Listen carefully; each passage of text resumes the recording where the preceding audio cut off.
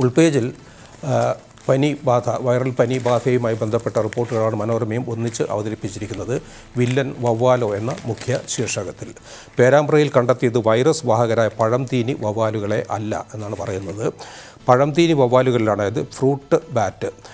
Nipah virus കാണപ്പെടുന്നതെങ്കിലും പേരാമ്പ്രയിൽ കണ്ടെത്തിയ കണ്ടെത്തിയവ മാംസ മാംസഭോജികളായ ചെറിയ നരിച്ചീറുകളാണ്.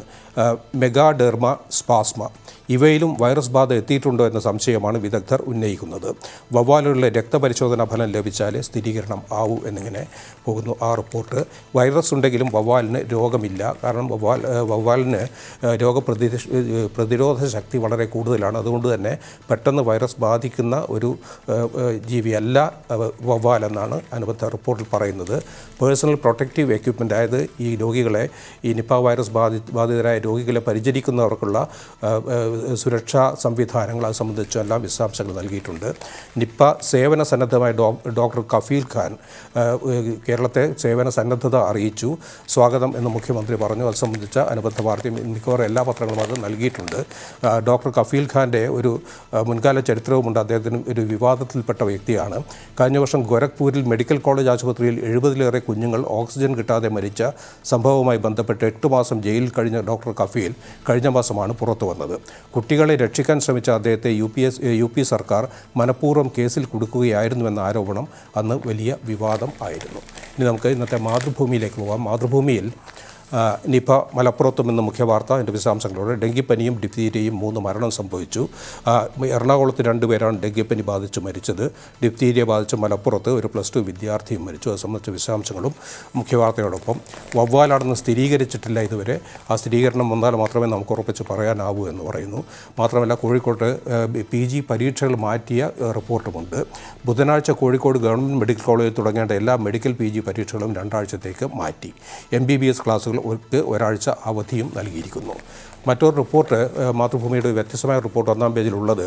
മുത്തലാഖ് ബില്ല് ഓർഡിനൻസായി വരും.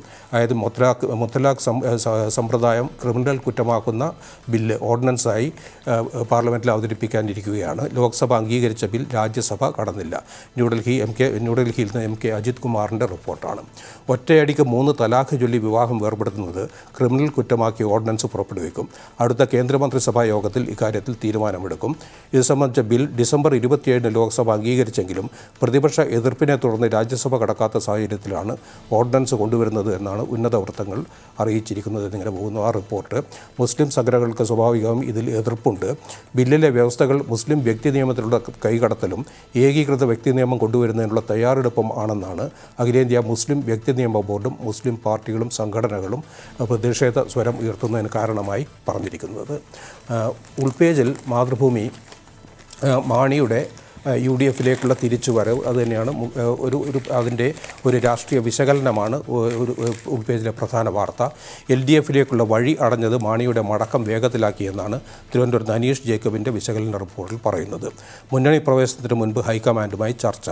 അത് സി പി ഐ മാണിയുടെ എൽ ഡി എഫ് പ്രവേശത്തെ സി പി ഐ ആദ്യം മുതൽ തന്നെ എതിർത്തിരുന്നു. അതുകൊണ്ട് തന്നെ സി പി എമ്മിന് മുന്നണിയിലെ ഏറ്റവും പ്രധാന കക്ഷിയായ സി പി എമ്മിന് ഇക്കാര്യത്തിൽ തീരുമാനമെടുക്കാൻ സാധിച്ചില്ല.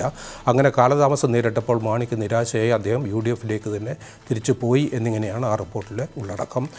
മാണിയുടെ വരവെന്തായാലും സ്വാഗതാർഹമാണെന്ന് കെ പി സി സി അധ്യക്ഷൻ എം എം ഹസൻ മുന്നണി മാണിയുടെ യു ഡി എഫിലേക്കുള്ള അല്ലെങ്കിൽ ചായ്വ് അത് പ്രത്യേകിച്ചൊരു മാറ്റമൊന്നും അല്ലെങ്കിൽ തങ്ങൾക്ക് തടസ്സമാകില്ല എന്ന് സി പി എന്റെ സി പി എം സംസ്ഥാന സെക്രട്ടറി കോടിയേരി ബാലകൃഷ്ണൻ പ്രസ്താവിച്ചതും എടുത്തു നൽകിയിട്ടുണ്ട് റിപ്പോർട്ടിന് ഒപ്പം.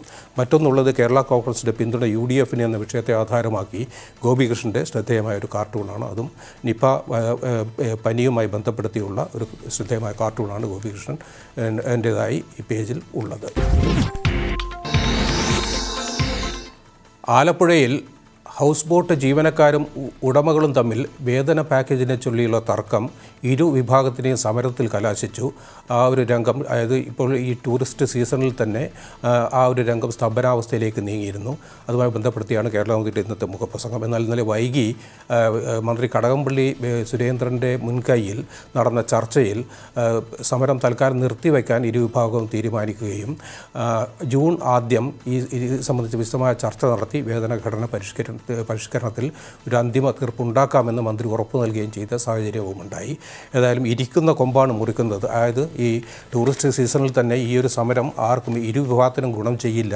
മാത്രമല്ല ആലപ്പുഴയുടെ തന്നെ മൊത്തം സമ്പദ്ഘടനയെ ബാധിക്കുന്ന ഒരു വിഷയമായി ഇത് മാറും. അതിന്റെ എല്ലാം മുന്നറിയിപ്പ് നൽകുന്നതായിരുന്നു കേരളമന്ത്രിയുടെ മുഖപ്രസംഗം. ഇരിക്കുന്ന കൊമ്പാണ് മുറിക്കുന്നത്. ആലുംക പഴുത്തപ്പോൾ കാക്കയ്ക്ക് വായ്പുണ്ണ് എന്ന് പറഞ്ഞതുപോലെ ഒഴിവുകാലം പാരമ്യത്തിൽ എത്തി നിൽക്കവേ ആലപ്പുഴയിലെ ഹൗസ് ബോട്ട് മേഖല അപ്രതീക്ഷിത പണിമുടക്കിൽപ്പെട്ട് നട്ടം തിരിയുകയാണ്. ഇത്തവണ വേതനത്തെ ചൊല്ലിയാണ് സമരം. ആദ്യം ഹൗസ് ബോട്ട് ജീവനക്കാരാണ് സമരത്തിന് ഇറങ്ങിയത്. അവർക്ക് പിന്നാലെ ഉടമകളും അതേ മാർഗം പിന്തുടർന്നതോടെ ഭൂരിപക്ഷം ഹൗസ് ബോട്ടുകളും കെട്ടിയിട്ട നിലയിലായി. അതായത് ഇത് ആ ഒരു രംഗത്തുള്ളവർക്ക് മാത്രമല്ല ഇതിനെ ആശ്രയിച്ച് കഴിയുന്ന മറ്റ് ആയിരക്കണക്കിന് ആളുകൾക്കും പൊതുവേ തന്നെ നാട്ടിന്റെയും നാടിന്റെയും സമ്പദ് വ്യവസ്ഥയെ ബാധിക്കുന്നൊരു വിഷയമായിരുന്നു. എന്നെല്ലാം വളരെ വിശദമായി തന്നെ പ്രതിപാദിച്ചിരിക്കുന്നു കേരള കൗമുദി മുഖപ്രസംഗത്തിൽ. മലയാള മനോരമ നിപ പനിബാധിതരെ പരിചരിക്കുന്നതിനിടയിൽ പനി ബാധിച്ച് മരണപ്പെട്ട ലിനി എന്ന നഴ്സിന് പ്രണാമം അർപ്പിച്ചുകൊണ്ടുള്ളതാണ് മനോരമയുടെ മുഖപ്രസംഗം. കടപ്പാടോടെ ലിനിക്ക് ആതുര സേവനത്തിന്റെ സമർപ്പിത ജീവിതത്തിന് നാടിന്റെ പ്രണാമം. ലിനി എന്ന പേര് ആതുര ആതുര സേവനത്തിന്റെ സമർപ്പണം അറിയിക്കുന്ന പര്യായ പദമായി മാറിയിരിക്കുന്നു.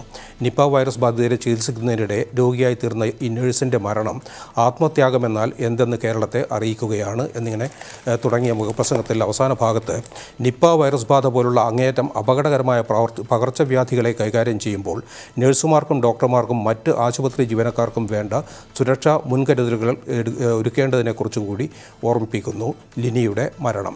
ഈ രോഗം ഉണ്ടാക്കിയ പ്രതിസന്ധി നേരിടാനുള്ള സംവിധാനങ്ങൾ പരിമിതമായ സാഹചര്യത്തിൽ കേരളം അതിന് പൂർണമായി സജ്ജമാവുന്നതിനോടൊപ്പം രോഗ ശുശ്രൂഷകർക്ക് വേണ്ട സുരക്ഷ കൂടി ഒരുക്കേണ്ടതുണ്ട് എന്ന് ഓർപ്പിക്കുകയും ചെയ്യുന്നു മുഖപ്രസംഗത്തിൽ മനോരമ. ഇനി മാതൃഭൂമി മാതൃഭൂമിയിൽ നമ്മുടെ ജൈവ വൈവിധ്യത്തെ സംരക്ഷിച്ച് നിർത്തിയത് അനിവാര്യമായി തീർന്നിരിക്കുകയാണ്. മനുഷ്യരാശിയുടെ തന്നെ നിലനിൽപ്പിന് അത് അനിവാര്യമാണ്. അതിന്റെ പ്രാധാന്യത്തെ ഊന്നിയുള്ളതാണ് മാതൃഭൂമിയുടെ മുഖപ്രസംഗം. അതായത് നമ്മുടെ നാട്ടിൻപുറങ്ങളിലെല്ലാം സുലഭമായി കണ്ടിരുന്ന കുറുക്കൻ എന്ന ജീവി പോലും ഇപ്പോൾ ഈ വളരെ ഒരു അപൂർവതയായി മാറിയിരിക്കുന്ന സ്ഥിതിവിശേഷത്തിലാണ് നാം ജീവിക്കുന്നത് എന്നെല്ലാം പരാമർശിച്ച ശേഷം. ജനിതക വൈവിധ്യം ആവാസ വ്യവസ്ഥയുടെ വൈവിധ്യം ജന്തുജാതി വൈവിധ്യം എന്നിവയുടെ ആകത്തുകയായ ജൈവ വൈവിധ്യമാണ് ഭൂമിയിൽ ജീവൻ നിലനിർത്തുന്നത്. അന്നവും അഭയവും ഔഷധവും അതിജീവനത്തിനാവശ്യമായ മറ്റ് വിഭവങ്ങളും ജീവജാതികൾക്ക് ഉറപ്പുവരുത്തുന്നതും അതുതന്നെ. പ്രാണികളും പരാതങ്ങളും പക്ഷികളും തൊട്ട് ഇരുകാലികൾ വരെയുള്ള ജന്തുസഞ്ചയത്തെ പായൽ തൊട്ട് ഫലവൃക്ഷങ്ങൾ വരെയുള്ള സസ്യ പ്രകൃതിയും നിലനിർത്തുന്നു. ഈ ജീവനലീല അത്യന്തം അപകടാവസ്ഥയിലാണ് ഇന്ന് എന്ന് മുന്നറിയിപ്പ് നൽകുന്നു മാതൃഭൂമി മുഖപ്രസംഗത്തിൽ. ഇനി നമുക്ക് ഇന്നത്തെ ബിസിനസ് വാർത്തകളിലേക്ക് പോകാം.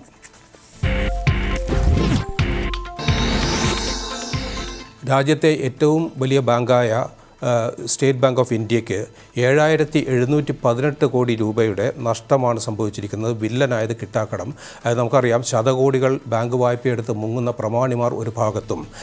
മിനിമം ബാലൻസ് ഇല്ലാതെ പിഴ നിരന്തരം പിഴ ഒടിക്കേണ്ടി വരി വരുന്ന സാധാരണക്കാർ മറുഭാഗത്തുമുള്ള സ്ഥിതിവിശേഷമാണ് നമ്മുടെ ബാങ്കിങ് രംഗത്ത് പൊതുവെ ഉള്ളത്.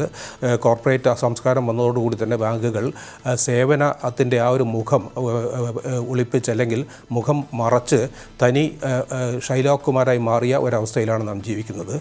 എസ് ബി ഐക്ക് ഏഴായിരത്തി എഴുന്നൂറ്റി പതിനെട്ട് കോടിയുടെ നഷ്ടം വില്ലനായത് കിട്ടാക്കടം എന്നതാണ് വാണിജ്യ ബില്ലിലെ കേരള മോദിയുടെ മുഖ്യ വാർത്ത. രാജ്യത്തെ ഏറ്റവും വലിയ ബാങ്കായ എസ് ബി ഐ കഴിഞ്ഞ സാമ്പത്തിക വർഷത്തെ അവസാന പദമായ ജനുവരി മാർച്ചിൽ ഏഴായിരത്തി എഴുന്നൂറ്റി പതിനെട്ട് കോടി രൂപയുടെ നഷ്ടം നേരിട്ടു. തൊട്ട് മുൻപ് മുൻവർഷത്തെ സമാന പദത്തിൽ ബാങ്കിന് രണ്ടായിരത്തി എണ്ണൂറ്റി പതിനാല് കോടി രൂപയുടെ ലാഭം ഉണ്ടായിരുന്നു. തുടർച്ചയായ രണ്ടാം പാദത്തിലാണ് ബാങ്ക് വമ്പൻ നഷ്ടം കുറിക്കുന്നത് എന്നിങ്ങനെ വിശദാംശങ്ങൾ അതിന്റെ കൂടെ ഇന്ത്യൻ ഓയിലിന്റെ ലാഭം നാൽപ്പത് ശതമാനം കുതിച്ചു എന്ന റിപ്പോർട്ടുമുണ്ട്. അത് വളരെ സ്വാഭാവികമാണ്. പെട്രോൾ വില അനുദിനം മുപ്പതും മുപ്പത്തിയൊന്നും പൈസയായി കൂട്ടിക്കൊണ്ടിരിക്കുന്ന ഒരു പശ്ചാത്തലത്തിൽ ലാഭം കൂടാനല്ലാതെ തരമില്ലല്ലോ. ഇനി നമുക്ക് ഇന്നത്തെ മനോരമയുടെ സാമ്പത്തികം പേജ് നോക്കാം. ഇന്ധനവില തലയൂരാൻ പെടാപ്പാട് എന്നാണ് മനോരമയുടെയും സാമ്പത്തിക പേജിലെ ഇന്നത്തെ മുഖ്യ വാർത്ത. ന്യൂഡൽഹിയിൽ റൂബിൻ ജോസഫിന്റെ റിപ്പോർട്ടിലാണ് വിശദാംശങ്ങളുള്ളത്. ഏതായാലും കുതിക്കുന്ന ഇന്ധനവില തീർക്കുന്ന തലവേദനയിൽ നിന്ന് തലയൂരാൻ പൊടിക്കൈകളുമായി കേന്ദ്ര സർക്കാർ. എക്സൈസ് തീരുവ കുറയ്ക്കാനാണ് നീക്കം. ഇതുവഴി പെട്രോളിനും ഡീസലിനും ലിറ്ററിന് രണ്ട് രൂപ വരെ കുറയും എന്നാണ് വിവരം. അത് സംബന്ധിച്ച വിശദാംശങ്ങളാണുള്ളത്. അതേസമയം പെട്രോളിലെ കർണാടക മാജിക് കേന്ദ്രത്തെ രക്ഷിക്കാൻ ഐ കർണാടക തിരഞ്ഞെടുപ്പ് വോട്ടെടുപ്പുമായി ബന്ധപ്പെട്ട് കുറച്ച് ദിവസം ഈ ദൈനംദിന പെട്രോൾ വില വർധന പ്രക്രിയയിൽ നിന്നുള്ള ഒരു അയവുണ്ടായിരുന്നു. അതിനെ ന്യായീകരിച്ചുകൊണ്ട് ഐ ഒ സി കേന്ദ്ര സർക്കാരിന്റെ രക്ഷയ്ക്ക് എത്തിയിരിക്കുന്നതായിട്ടാണ് അനുബന്ധ റിപ്പോർട്ട്. ഇനി മാതൃഭൂമി വാണിജ്യം പേജിൽ എസ് ബി ഐക്ക് ഏഴായിരത്തി എഴുന്നൂറ്റി പതിനെട്ട് കോടിയുടെ നഷ്ടം തന്നെയാണ് മുഖ്യ വാർത്തയാക്കിയിരിക്കുന്നത് അതേസമയം അലഹബാദ് ബാങ്ക് പുതിയ മേധാവിയെ നിയമിക്കുന്ന വാർത്തയും ഒപ്പം ഉണ്ട്.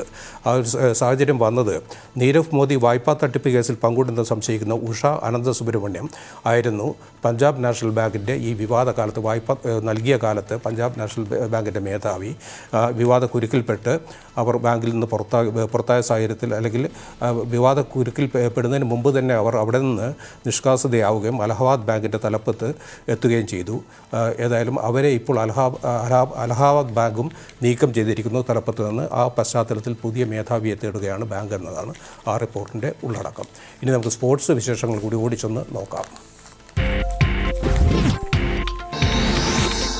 ഐ പി എൽ ക്രിക്കറ്റിന്റെ അന്തിമ പാദത്തോട് അടുത്തി അടുത്തിരിക്കുന്നു. ചെന്നൈ സൂപ്പർ കിങ്സ് ഫൈനലിൽ എത്തിയ വിശേഷമാണ് കളിക്കളം പേജിലെ കേരള കൗമുദിയുടെ ഇന്നത്തെ പ്രധാന വാർത്ത. ഐ പി എൽ ആദ്യ ക്വാളി- ക്വാളിഫയറിൽ രണ്ട് വിക്കറ്റിന് സൺറൈസേഴ്സ് ഹൈദരാബാദിനെ തോൽപ്പിച്ച വിശേഷങ്ങളാണ് അതുള്ളത്.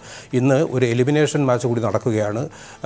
ഐ പി എൽ എലിമിനേറ്റർ മത്സരത്തിൽ ഇന്ന് Kolkata knight riders Rajasthan royals പോരാട്ടമാണ് നടക്കുന്നത്.